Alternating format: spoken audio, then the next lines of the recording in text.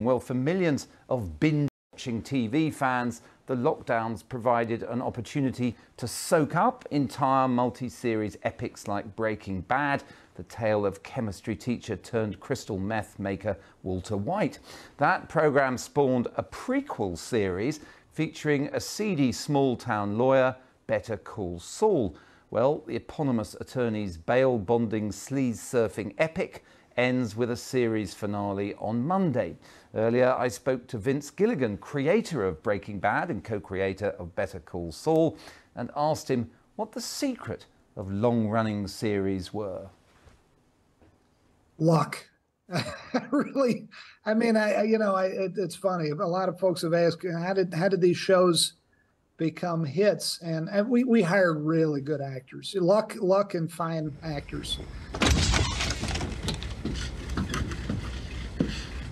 What the hell is this? You know, Bryan Cranston and Breaking Bad and Aaron Paul and that whole amazing cast. And then Bob Odenkirk and Rhea Seehorn. It, if you have that, you, you're kind of making your own luck. But then, honestly, just, you know, you just never know. You just put forth uh, the best show that you can come up with, and then the chips fall where they may. In this case, folks seem to like the uh, both series, and, and feel very fortunate about that some people would say pretty nihilistic, pretty dark view of America.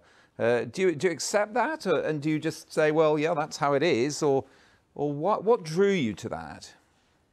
That's a good question. I, I, would definitely not say that's how it is in America, just like I would say that's not not how it is in, in the UK or, or on the continent or anywhere. I, I, it's a big world we live in, thank goodness, and there's a lot of good and a lot of bad in every country speaking of America, when when Breaking Bad, when I was coming up with that, it it I was really interested in the character. I wasn't trying to make a statement about, gee, health insurance in America is lacking or anything like that.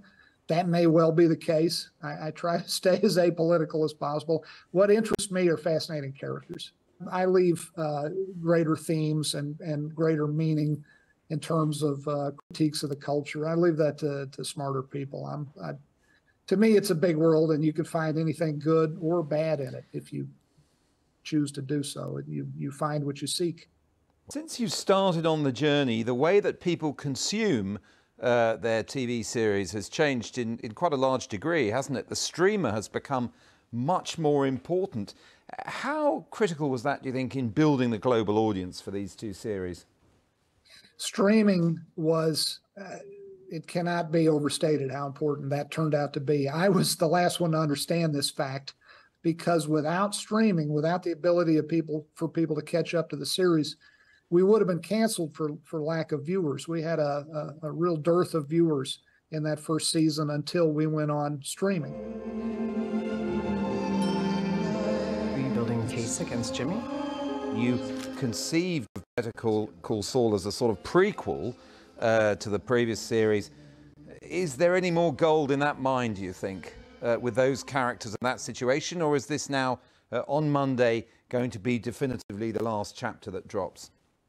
I know it sounds like a tease, but I, I just I hate to commit myself uh, and then and then prove myself to be a liar later. But right now, Mark, I can't really conceive of uh, of, of of I can conceive of there being more story in this universe, but I, I think I'm I'm played out as a as a creator of it.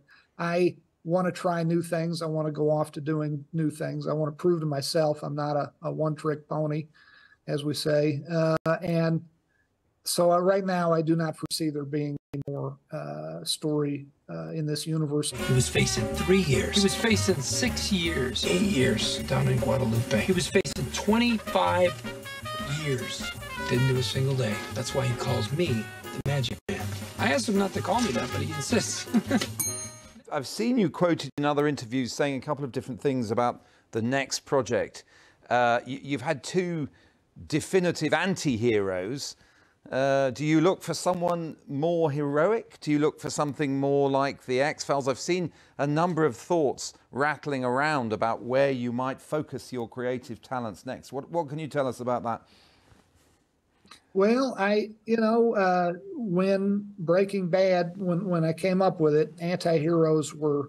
I, I did certainly did not invent the anti-hero. We had the amazing show, The Sopranos, that had already been on the air here in the states and throughout the world, and that definitely centers on an anti-hero. We had a wonderful show called The Shield over here. I hope it made it over there as well. Another anti-hero. So it's not like we invented the genre or the or the type of character, but they were still somewhat few and far between 15 years ago. Nowadays, they're they are a little more abundant. So now perhaps it is time to uh, to to try to come up with some sort of a more heroic character. We'll see. But I I mainly would like to do something different, whatever that may turn out to be. I'd, I'd like to do something different than than Breaking Bad and Better Call Saul. Not because I didn't have a wonderful time doing these shows, but simply because it's uh, time to time to try something new. Well, millions will be tuning in on Monday for that last episode. Vince, Vince Gilligan, thank you very much indeed for joining us.